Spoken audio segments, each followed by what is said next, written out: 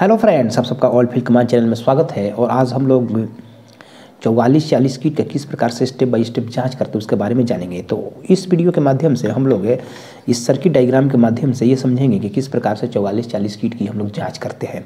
और फिर आने वाले वीडियो में हम लोग ये समझेंगे कि किस प्रकार से प्रैक्टिकली रूप से स्टेप बाय स्टेप किस प्रकार से जाँच करते हैं उसके बारे में भी जानेंगे। तो देखिए सबसे पहले ये जानिए कि चौवालीस चालीस जो किट होता है, इसके अंदर चौवालीस चालीस आईसी का प्रयोग किया जाता है। इस किट के साथ जो है चौवालीस चालीस आईसी का प्रयोग किया जाता है। तो देखिएगा कि एक चौवालीस चालीस आईसी यहाँ लगा होता है, एक चौवालीस चालीस आईसी यहाँ लगा होता है। इसमें दो चैनल बने होते आवाज़ को सुनने के लिए डबल चैनल का प्रयोग किया जाता है और इसमें देखिएगा कि बेस ट्रेबल के लिए भी डबल सर्किट बना होता है। यहाँ से लेकर यहाँ देखिएगा कि एक ट्रांजिस्टर का प्रयोग और विभिन्न कंपोनेंट का प्रयोग किया गया है। एक चैनल के लिए और फिर यहाँ से यहाँ तक जो है दूसरे चैनल के लिए जो है कंपोनेंट के प्रयोग किए गए हैं। यानी कि लेफ़्ट और राइट चैनल के लिए डबल ट्रांजिस्टर का प्रयोग किया गया है। एक ट्रांजिस्टर लेफ़्ट के लिए काम करेगा, एक ट्रांजिस्टर राइट के लिए काम करेगा। उसी प्रकार से एक आईसी आपका चौवालीस चालीस जो होगा वह लेफ़्ट के लिए काम करेगा और एक चौवालीस चालीस आईसी राइट के लिए काम करेगा। तो इस प्रकार से लेफ़्ट राइट दो चैनल इसके कीट के साथ बने होते हैं। तो हम लोग केवल एक ही चैनल के बारे में समझेंगे। जब एक चैनल के बारे में हम समझ जाएँगे तो सेम टू सेम दूसरा चैनल भी बना होता है तो दूसरा भी चैनल को हम लोग आसानी पूर्वक जो है रिपेयरिंग कर पाएँगे, समझ पाएँगे। तो देखिए, सबसे पहले ये समझिए कि चौवालीस चालीस जो आईसी होता है, जो कि यहाँ पर लगाया जाता है तो इस आईसी की जाँच पहले कैसे करेंगे? पहले इसकी जाँच करेंगे, उसके बाद जो है यहाँ ट्रांजिस्टर की जाँच करेंगे और ट्रांजिस्टर के बाद जो है बेस ट्रेबल सर्किट की जाँच करेंगे। तो देखिए, सबसे पहले चौवालीस चालीस की जाँच के लिखे हुए भाग को सामने और लेग को नीचे करेंगे। और नीचे करके जब देखेंगे तो यहाँ से पिन नंबर एक स्टार्ट होगा। एक, दो, तीन, चार, इस प्रकार से कुल मिला करके चौदह पिन बने होते हैं। तो किसी भी आईसी को प्रयोग करते समय चार बातों का ध्यान देते हैं। तो इस चौवालीस चालीस में हम लोग पहले ही जान चुके हैं कि इस आईसी का पिन नंबर ग्यारह जो होता है, वो पॉजिटिव पिन होता है। जबकि निगेटिव पिन कौन होता है? तो पिन नंबर चौदह होता है, आठ होता है, इसके अलावे तीन होता है। तीन और आठ और चौदह नंबर पिन को निगेटिव सप्लाई देते हैं, जबकि ग्यारह नंबर को पॉजिटिव सप्लाई देते हैं। कहाँ से देते हैं। तो बैटरी से आने वाला सप्लाई हो या एडप्टर से आने वाला सप्लाई हो या ट्रांसफार्मर के द्वारा एलिमिनेटर बना करके 12 वोल्ट जो डीसी प्राप्त करते हैं, उसकी सप्लाई हो तो ये सप्लाई 12 वोल्ट की पॉजिटिव सप्लाई देते हैं। ऐसे के पिन नंबर ग्यारह को जबकि निगेटिव सप्लाई सीधे चला जाता है। लंबी एम चौड़ी पट्टी से होते हुए ऐसे के पिन नंबर चौदह को, आठ को और तीन को। इसके अलावा इस आईसी में क्या हम लोग जानते हैं कि इस आईसी का इनपुट पिन इनपुट पिन उसे कहते हैं जिसमें कमज़ोर सिग्नल देते हैं। तो इस आईसी का इनपुट पिन दो होता है, दो में कमज़ोर सिग्नल देते हैं और साथ ही साथ पिन नंबर छः भी इनपुट होता है। तो चूँकि इस आईसी का प्रयोग मोनो आईसी के रूप में किया जाता है तो इसलिए केवल एक ही इनपुट का प्रयोग किया जाए किया जाता है। कमज़ोर सिग्नल आईसी के पिन नंबर दो में देते हैं और शक्तिशाली सिग्नल आईसी के पिन नंबर दस और बारह से निकल करके स्पीकर को जाते हैं, जो कि हम लोग पहले जान चुके हैं। इस वीडियो के माध्यम से ये समझेंगे कि किस प्रकार से इसकी हम लोग जाँच करेंगे। तो देखिए, जाँच क्या करना है? कि पॉजिटिव पिन पॉजिटिव पिन कौन होता है? तो पिन नंबर ग्यारह होता है। पिन नंबर ग्यारह पर जितना सप्लाई मिले, उसकी ठीक आधी सप्लाई आईसी के आउटपुट पिन पर मिलना चाहिए। आउटपुट पिन कौन होता है? तो 10 और 12 होता है। क्योंकि 10 और 12 से सिग्नल निकल करके स्पीकर को जाता है। तो आउटपुट पिन उसे कहते हैं जहाँ जहाँ से सिग्नल निकल करके स्पीकर को जाता है। तो पॉजिटिव पिन की ठीक आधी सप्लाई आईसी के आउटपुट पिन पर मिलना चाहिए। अगर मिले तो ये मानेंगे कि आईसी लगभग सही काम कर रहा है। आईसी सही है। कब? जब पॉजिटिव पिन की आधी सप्लाई आईसी के आउटपुट पर मिले।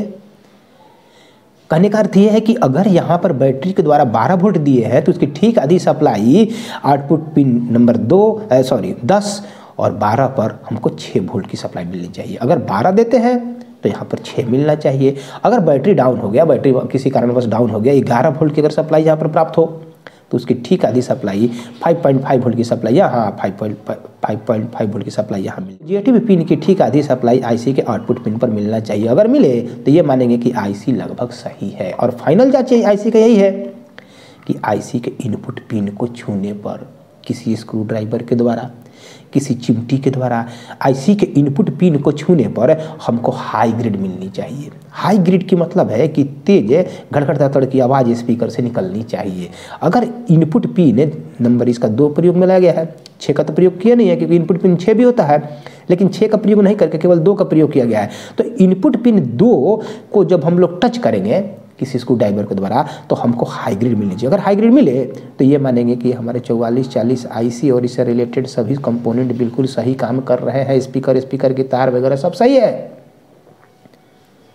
अगर प्लस पिन की आधी सप्लाई आउटपुट पर मिले, फिर भी आईसी के इनपुट पिन को छूने पर हाई ग्रेड प्राप्त नहीं हो तो हम लोग स्पीकर और स्पीकर की तार की जाँच करते हैं।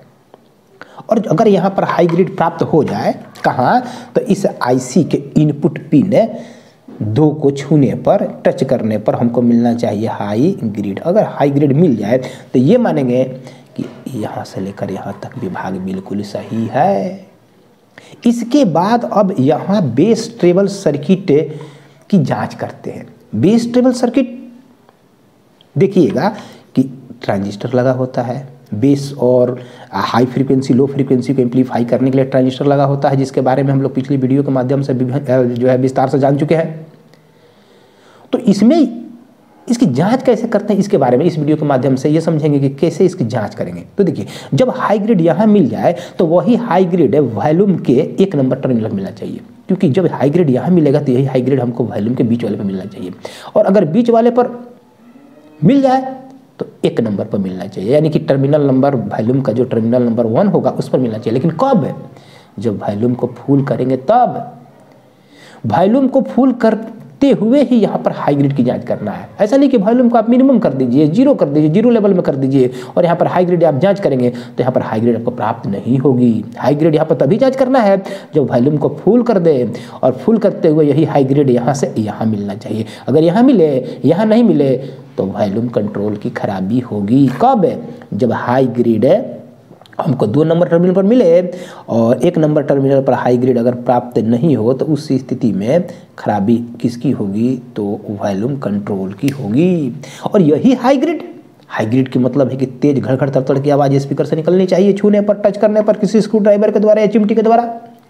और यहाँ पे जब हाई ग्रेड मिल जाए तो ये मानेंगे कि यहाँ से लेकर यहाँ तक सही है। इसके बाद यही हाई ग्रेड ऐसे होते हुए, यहाँ से हर रजिस्टेंस के द्वारा यहाँ मिलना चाहिए। अगर यहाँ मिले, यहाँ नहीं मिले तो इस वन किलो का रजिस्टेंस जो एक किलो ओम का जो रजिस्टेंस लगा हुआ रजिस्टेंस की खराबी होगी। और यहाँ ग्रेड जब हाई ग्रेड मिल जाए तो यही high grade four point seven M F D तिरसठ वोल्ट के आपको कैपेसिटर के द्वारा हमको ट्रांजिस्टर के कलेक्टर पर मिलना चाहिए। हाई ग्रेड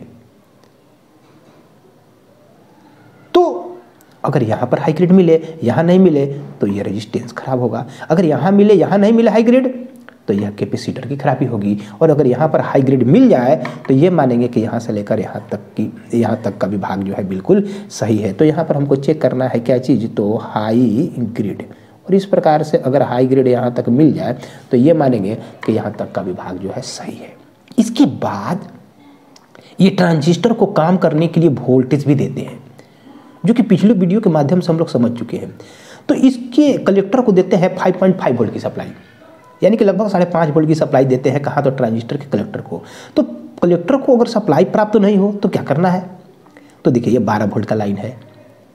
बारह वोल्ट के लाइन से एक किलो ओम के रजिस्टेंस के द्वारा ये सप्लाई यहाँ पर मिलना चाहिए, दस वोल्ट की सप्लाई ये सेकेंड पॉजिटिव लाइन मानते हैं। जो 12 वोल्ट का जो लाइन है, उसको फ़र्स्ट पॉजिटिव लाइन मानते हैं। और एक रजिस्टेंस के द्वारा, एक किलो के रजिस्टेंस के द्वारा यहाँ पर हमको 10 वोल्ट की सप्लाई मिलनी चाहिए। अगर 12 मिले 10 नहीं मिले तो ये रजिस्टेंस की खराबी होगी। रजिस्टेंस बदल दिए फिर भी यहाँ पर अगर 10 वोल्ट नहीं मिले तो यहाँ पर फ़िल्टर करने के लिए जो कैपेसिटर लगा होगा, एक हज़ार एम एफ़ डी सोलह वोल्ट का, वो कैपेसिटर आपका ख़राब हो सकता है। और यहाँ पर जब 10 वोल्ट मिल जाए तो यही 10 वोल्ट की सप्लाई यहाँ पर five point six kilo ohm के रजिस्टेंस के द्वारा यहाँ पर हमको मिलना चाहिए, इस ट्रांजिस्टर के कलेक्टर को मिलना चाहिए 5.5 वोल्ट अगर 5.5 वोल्ट नहीं मिले और यहाँ पर 10 वोल्ट मिले तो इस रजिस्टेंस की खराबी होगी। तो ट्रांजिस्टर के कलेक्टर पर हमको हाई ग्रेड हाई ग्रेड कहाँ से तो ऐसे होते हुए, ऐसे होते हुए यहाँ पर हाई ग्रेड साथ ही साथ वोल्टेज भी जाँच करना होता है। तो वोल्टेज अभी चेक समझे कि यहाँ से 12 वोल्ट के लाइन से एक रजिस्टेंस के द्वारा 10 वोल्ट का लाइन बनता है। 10 वोल्ट के लाइन से 5.6 किलो ओम के रजिस्टेंस के द्वारा यहाँ पर हमको जो है 5.5 वोल्ट मिलना चाहिए। तो ट्रांजिस्टर के कलेक्टर पर अगर 5.5 वोल्ट और हाई ग्रेड मिल जाए तो ये मानेंगे कि यहाँ तक सही है। इसके बाद इस ट्रांजिस्टर के बेस पर चले जाएँगे। अगला जाँच कहाँ करेंगे? कलेक्टर के बाद ट्रांजिस्टर के बेस पर चले जाएँगे। और बेस पर चेक करना है आपको ज़ीरो, बेस पर चेक करना है पॉइंट सिक्स फाइव वोल्ट। इसके बेस पर चेक करना है एक से भी कम वोल्ट, यानी कि पॉइंट सिक्स फाइव वोल्ट की जाँच करना है ट्रांजिस्टर के बेस पर। और अगर बेस पर आपको वोल्ट नहीं मिले, कितना वोल्ट? तो पॉइंट सिक्स फाइव वोल्ट, यानी कि एक से भी कम वोल्ट मिलना चाहिए। और अगर यहाँ पर वोल्ट नहीं मिले तो उस स्थिति में आपको यहाँ से यहाँ क्योंकि यहाँ पर वोल्ट कहाँ से देते हैं? तो यह जो 5.5 वोल्ट मिलता है, वही 5.5 वोल्ट एक रजिस्टेंस के द्वारा। 150 किलो ओम के रजिस्टेंस के द्वारा, फिर 150 किलो ओम के रजिस्टेंस के द्वारा यहाँ पर हमको हमको वोल्टेज मिलना चाहिए। अगर यहाँ वोल्टेज मिले, यहाँ वोल्टेज नहीं मिले तो या तो इस रजिस्टेंस से खराबी होगी, या इस रजिस्टेंस से खराबी होगी। और यहाँ का अगर वोल्टेज किसी कारणवश बढ़ जाए तो उस स्थिति में यहाँ से यहाँ लगा हुआ है आपका सैंतालीस किलो ओम का 47 किलो ओम का रजिस्टेंस की खराबी। अगर वोल्टेज बढ़ जाए तो इस निगेटिव लाइन से लगे हुए रजिस्टेंस की खराबी होगी। अगर वोल्टेज अगर नहीं मिले तो पॉजिटिव लाइन से लगे हुए रजिस्टेंस की खराबी होगी। ये रजिस्टेंस बिल्कुल सही है, फिर भी यहाँ पर वोल्टेज नहीं मिले तो यहाँ पर निगेटिव लाइन से लगा हुआ हंड्रेड के का कैपेसिटर भी आपका खराब हो सकता है। और इस प्रकार से यहाँ पर हमको ज़ीरो पॉइंट सॉरी, यहाँ पर मिलना चाहिए हमको पॉइंट सिक्स फाइव वोल्ट, यानी कि एक से भी कम वोल्ट मिलना चाहिए। अगर यहाँ पर वोल्टेज मिल जाए, तब हमको क्या चेक करना है कि जो यहाँ पर हाईग्रिड मिलता है हाईग्रिड का मतलब है कि तेज घटघटाहट की आवाज़, वो कहाँ से आया?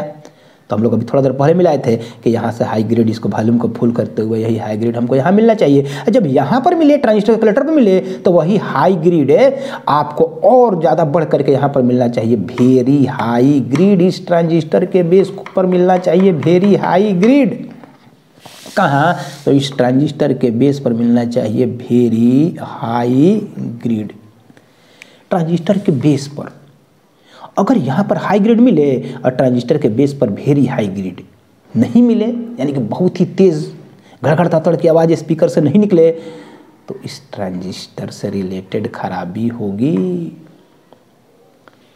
और जब यहाँ पर वेरी हाई ग्रेड मिल जाए तो यही वेरी हाई ग्रेड है।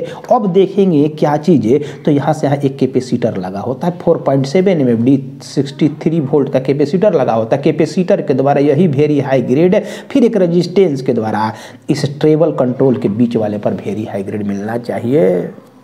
अगर यहाँ पर वेरी हाई ग्रेड मिले, और इसके बीच वाले टर्मिनल पर वेरी हाई ग्रेड नहीं मिले तो या तो यह कैपेसिटर खराब होगा, या यह रजिस्टेंस खराब होगा।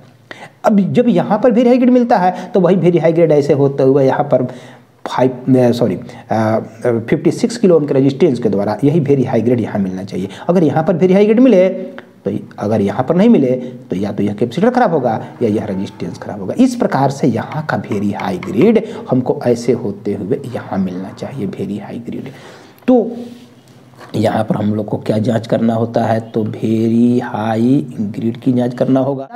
यहाँ का वेरी हाई ग्रेड यहाँ से यहाँ, इस कैपेसिटर के द्वारा और फिर 4.7 किलो के रजिस्टेंस के द्वारा, इसके भी बीच वाले सिरे पर हमको मिलना चाहिए। क्या चीज़ें तो मिलना चाहिए वेरी हाई ग्रेड मिलना चाहिए। और अगर बीच वाले पर वेरी हाई ग्रेड मिल जाए तो उस स्थिति में इसको जब फुल करेंगे तो वही वेरी हाई ग्रेड यहाँ मिलना चाहिए। इसको जब मैक्सिमम लेवल पर कर देंगे तो वही वेरी हाई ग्रेड यहाँ मिलना चाहिए। अगर यहाँ मिले, यहाँ नहीं मिले वेरी हाई ग्रेड तो ये मानेंगे कि यह जो है आपका ट्रेबल कंट्रोल की खराबी है। अगर यहाँ वेरी हाई ग्रेड मिले, यहाँ नहीं मिले तो ट्रेबल कंट्रोल की खराबी होगी। तो यहाँ मिलना चाहिए हमको वेरी हाई ग्रेड और जो वेरी हाई ग्रेड यहाँ मिलता है, जब इस बेस को फुल करेंगे तो वही वेरी हाई ग्रेड यहाँ से यहाँ मिलना चाहिए। अगर यहाँ मिले, यहाँ नहीं मिले तो इस बेस कंट्रोल की खराबी होगी। अगर यहाँ पर वेरी हाई ग्रेड प्राप्त नहीं हो, तब फुल करने पर।